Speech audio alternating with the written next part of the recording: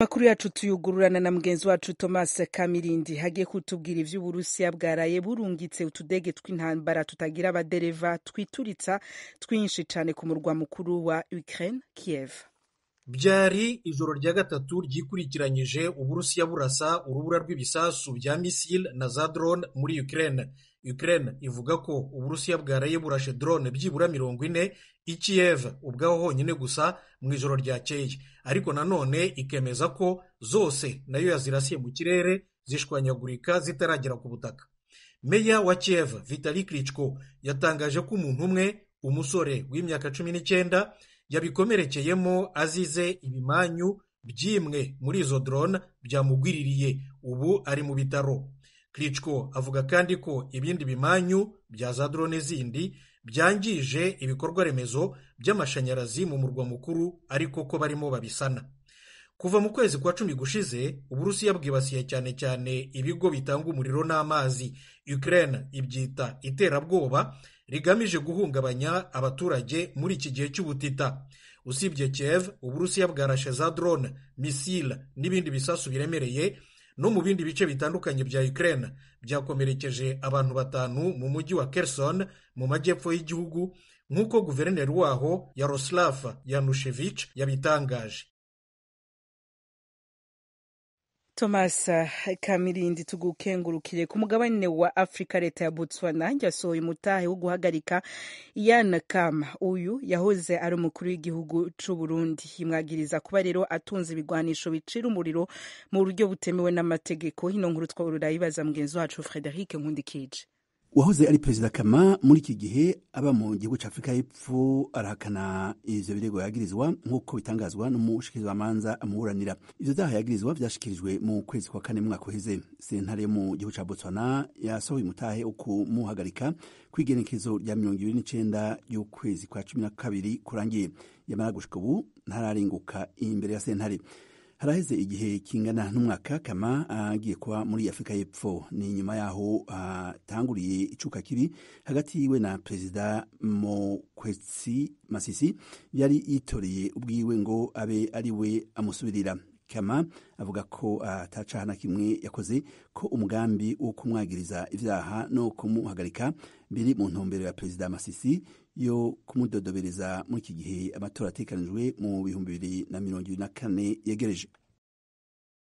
Tuva muri botswana tuja muri malawi aho amashure yugawe kubera ikiza ca korora korera apana korora. Ido nido na mugenzi wacu thomas kamirindi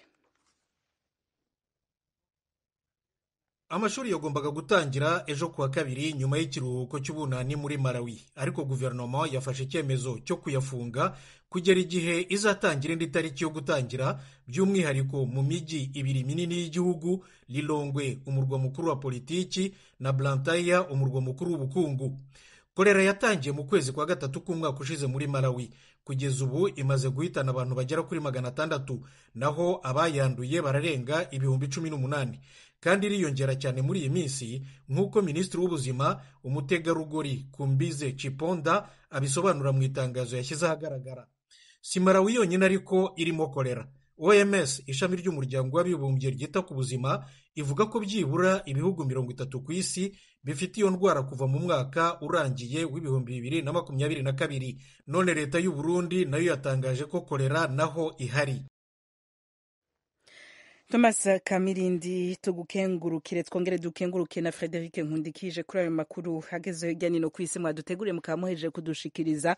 Ayo n'ayandi nibutsa abakunzi b'ijwi rya amerika ko bashobora kongera kuyasanga kuri we zitatu akaburungu radiyo yacu voa akaburungu com adrese ya youtube yacu instagram facebook na twitter ni voa radiyo yacu. Mu kanya tuja mu karere ka afurika y'ibiyaga binini aho tuza kubabwira iby'umutekano wa kongo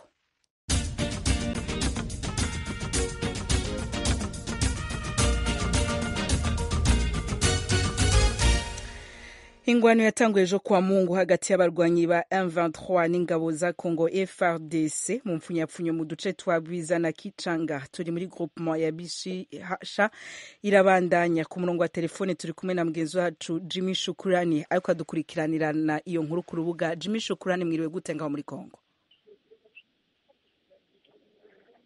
Twiriwe neza diane namwe mukomere. Ego abaguye muri iyo ntambara bamaze kumenyekana bangana gute ku mpande zose? Bo muri aya masaha tuvugana igisirikare cya kongo ifaridese cyatangaje ko cyabashije kwica abarwanyi b'umutwe wa makumyabiri na gatatu bagera kuri makumyabiri na gatanu.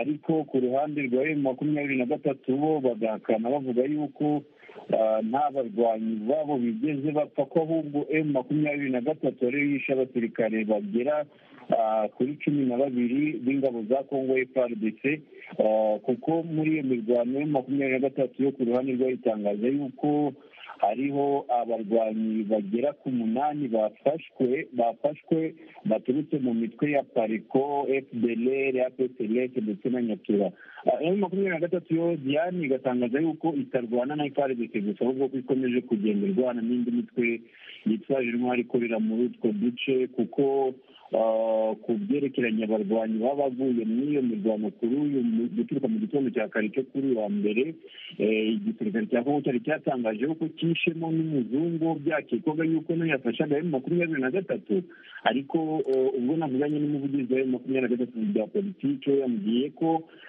uwo muzungu waguye mu mirwano ari mu mesenere wari uri ku ruhande rw'ingabo za kongo frdc lawrence kanyuka akavuga yuko frdc ikomeje kugenda ikoresha inzira zose zishoboka kugira ngo ibashe kurwanya makumyabiri na gatatu nubwo ku bijyanye n'iby'umuvugizi wa makumyabiri na gatatu bitarimo guhira frdc ariko ku ruhande rwa frdc yo yavuze ko ihagaze neza ko navuganye na njike kayiko ni umuvugizi wa frdc hano muri kivu ya ruguru nawe ambwira yuko ingabo za kongo frdc ari zo zikomeje kugaba ibitero ku barwanyi bayo makumyabiri na gatatu mu duce twa sheferi ya bwito aho ni muri gutema ya bishusha muri teritwari ya rukshani hanyuma abagwanyi ba M23 ratubwiye ko bavugwa ko ari mirongo ine na batanu baguye ku rugamba aba FRDC umunani.